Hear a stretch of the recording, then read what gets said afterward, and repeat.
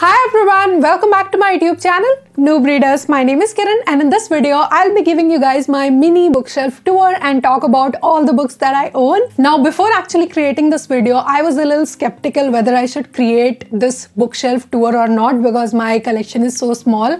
But then I decided to just go for it because I know that as the time will progress, I will have a lot more books. So without further ado, let's begin this bookshelf tour.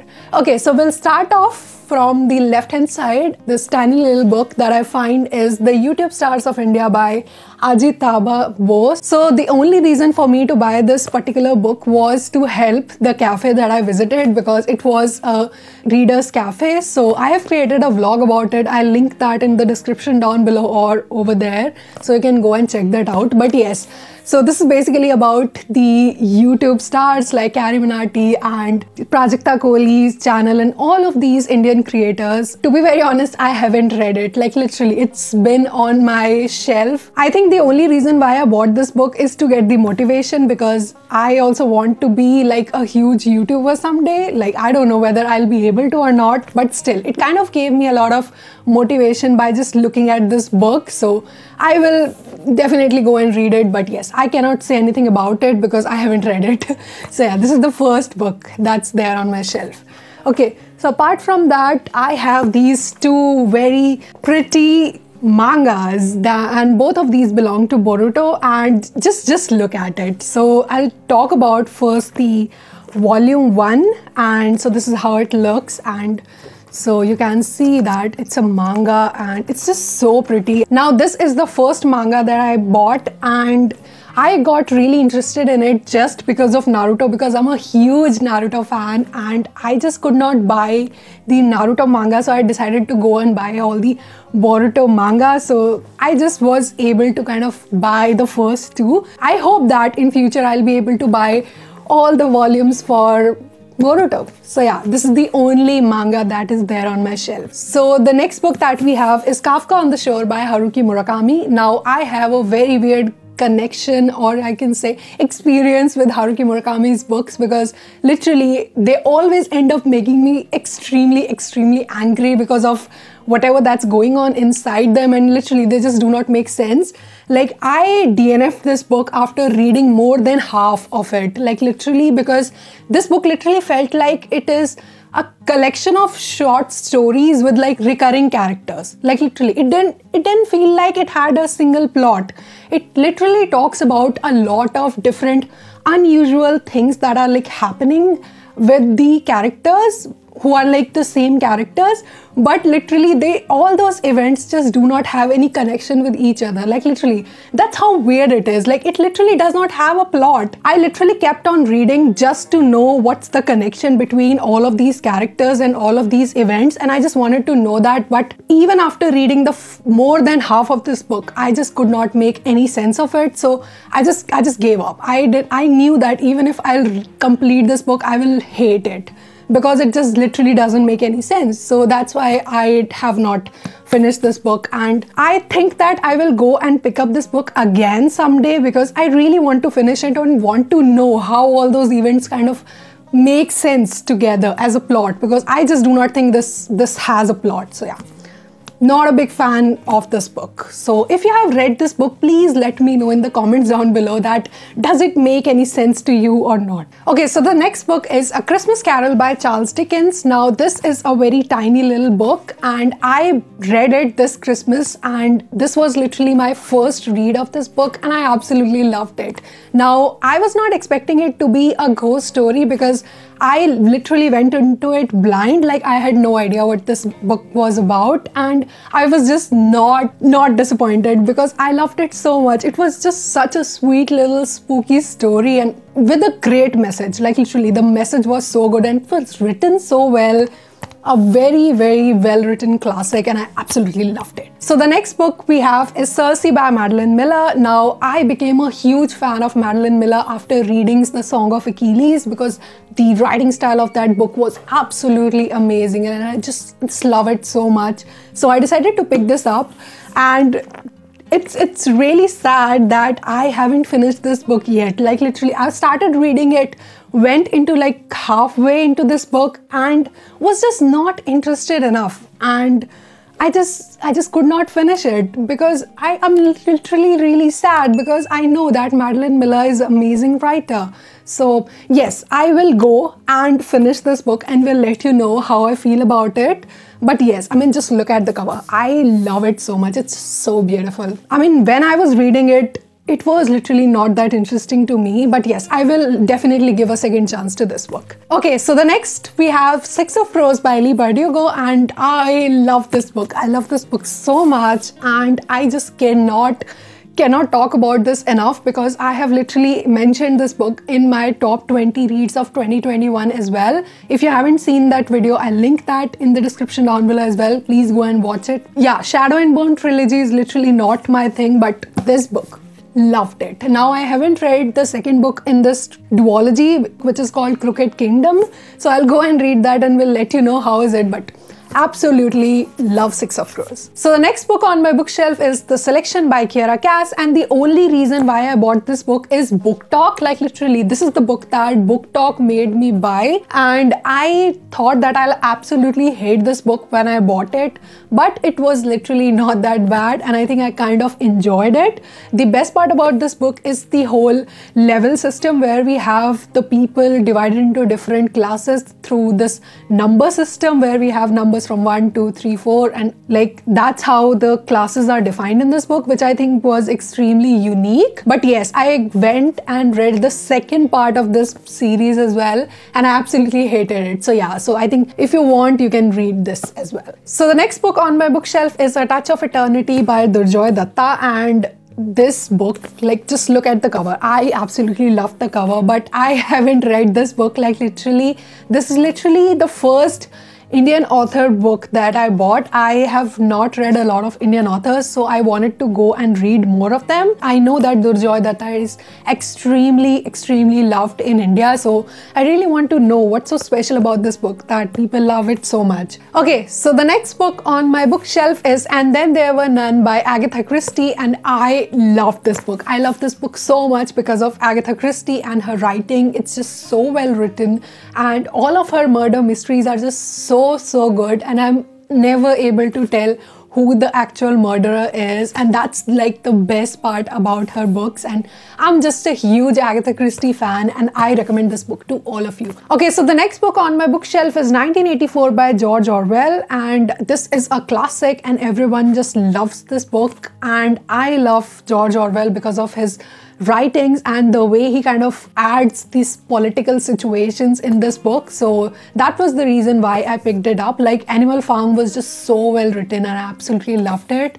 But when I was reading this book, this literally got so, so difficult to get through. So I decided to take a break and so that's why I haven't finished this book yet so I will pick up this book again and will let you know how is it. So the next book on my bookshelf is Persuasion by Jane Austen. Now Jane Austen has written Pride and Prejudice which is like my favorite romance book of all time but when I read this book I was just not that impressed. I think it was extremely boring. Yeah, I'm literally not a big fan of Persuasion. If you guys have read this book, do let me know. Do you also think that this was like a little boring to read? So the next book on my bookshelf is Suheldev, The King Who Saved India by Amish Tripathi. Now I know that Amish Tripathi is loved by so many Indians and he's literally like literally the best-selling author but I have not finished this book. I think I'm not a big fan of the writing of Amish and I was literally not able to get through it. So the next book on my bookshelf is Twilight by Stephenie Meyer. Now the only reason why I bought this book is to talk shit about it and and that's just me being honest because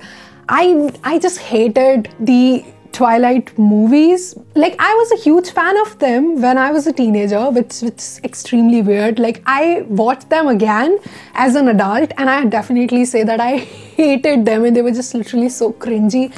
And then I always see people saying that no, the books are better, the books are better, and movies are like bad.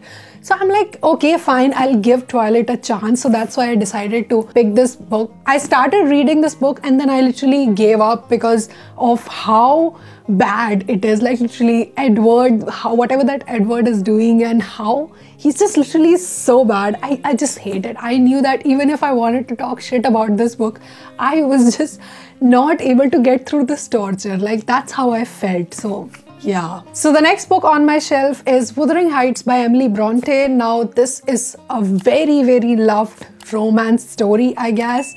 And I have reviewed this book and talked about it in detail. So I'll put that review in the description down below so you can go and watch it. But I am not a big fan of this romance bike because literally it was very toxic according to me. So yeah, you can go and watch that reviews. So the next book on my bookshelf is A Slow Fire Burning by Paula Hawkins. Now I am a huge fan of Paula Hawkins' book that is The Girl on the Train. And so that's why this was literally my most anticipated read of like 2021 because I thought that I'll absolutely love it but it was just an okayish book and I was not a big fan and I have created a dedicated review of this as well. I'll link that in the description down below as well. If you haven't watched it, you can go and do watch it. So the first book on this shelf is Birthday Girl by Murakami and I've already told you I have very weird connection with Murakami and a very I like literally all my experiences with Murakami's books have been extremely weird. So I have created a dedicated review of this book. Like literally it's it's just a tiny little thing. Like it literally had like 42 pages and it's, it's a weird way the book ends. So please go and watch that review and do let me know what do you think happened in this book. So next up we have Frankenstein by Mary Shelley. Oh my god, I just finished reading this book and I I just love it so much. I will create a dedicated review of this book and then you'll know about my thoughts but Oh my god, I love this classic. I am so happy that I picked it up and read it because of you guys, because you wanted me to read this classic. So thank you so much for making me read this because I love it. I love the writing, everything about. It's just so well done. And I just cannot even believe that Mary Shelley wrote it when she was a teenager. Like, that's brilliant. Like, literally, that's just brilliant. I don't know what else to say absolutely love this classic. So the next one on the list we have The Eye of the World by Robert Jordan. Now this is a classic fantasy series and this is the first book in that series and I absolutely love it. I have created dedicated videos on this particular series and I've created literally a lot of content on Wheel of Time on my channel so you can go and watch that. I'll link all the videos in the description down below. So this is literally the first book in that series and then we have the second book, which is The Great Hunt, and the third book, which is The Dragon Reborn. So these are the three books in the Wheel of Time series, and you can find all the dedicated reviews in the description down below. So absolutely love this series and highly recommend it to all of you. So the next book on my bookshelf is You Are a Badass by Jen Sincero. Yeah, so that's how the name is pronounced and I was just butchering her name earlier so I'm extremely sorry for that. So this is a self-help book and I have very mixed opinion about this book. So I'll create a dedicated review and then we'll let you know what do I think. But yes, I think I, I love this cover and because of how bright and yellow it is. So yeah, a self-help book with a lot of good things. But yes, I have very mixed reviews about this book. So wait for the review, then I'll talk about it in detail. Next up, we have the Witcher series. So this is another fantasy series that I am a huge fan of. Now, I came to know about Witcher through the Netflix adaptation and I became a fan instantly. So these are the first two short stories, Sword of Destiny and The Last Wish and Sword of Destiny. And then I've read the first book in the series, which is Blood of Elves. Now I have already reviewed these two short stories and you'll find the links in the description. And I haven't reviewed Blood of Elves yet, I think. About Blood of Elves, I'll only say that it was not that good. Like, yeah, I was expecting a lot more from this book, but yeah, I mean, it kind of felt like a lot of things are about to happen in this book, but nothing kind of happened in this. Like, literally, we just see that Ciri is kind of getting all her training and she's training with Geralt to become a Witcher, and she's also kind of training her magic with Yennefer. So, so we know that it's it's a lot of preparations, I think, in this book, and I hope that when we read further in like the other books, it will be a lot more interesting than this. But yeah, I was yeah, I'm a little disappointed with this one. So next up, we have the first book in the Lord of the Rings series, which is The Fellowship of the Ring. And you can see how much I have annotated this book. And oh my god, I want to create a dedicated review on this book and talk about it because there are literally a lot of things to talk about. Like, you can definitely feel that a lot of books are inspired by this book. Like you can definitely see that. Because i have seen a lot of times when i was just saying that that kind of reminded me of harry potter and that kind of reminded me of the wheel of time and so, yeah, I think I totally understand why this book is considered as an inspiration for a lot of different authors. So, yes, I will definitely say that I was a little bored when I was reading this book, but you can expect that because it's a classic fantasy. And I know that Tolkien just loves descriptions and he loves to describe all the things and which can kind of make a lot of impact on the pacing. So I think pacing was my biggest issue with this book. But I will create a dedicated review of this book and then let you know what I think about this book. So be ready for that review and be on the lookout. So the next book on my shelf is Dune by Frank Herbert. Now, this is a science fiction and it's another classic, you can say, in the science fiction genre. And the movie came out, so I wanted to read the book first, but I read like the first 100 pages and then could not get through this book. Like, literally, there's literally so much information that you need to remember.